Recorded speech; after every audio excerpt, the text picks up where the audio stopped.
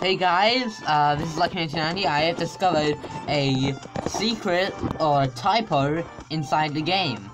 If you go to playlist, this only works if you if you have 15,000 credits. You go down to the bottom, and the song Mortal Kombat.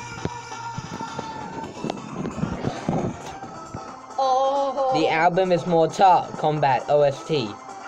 So, like the video if you didn't know, and like if you think it's cool because I was just browsing through, and um, uh, subscribe for more. Um, thank you. I'll see ya.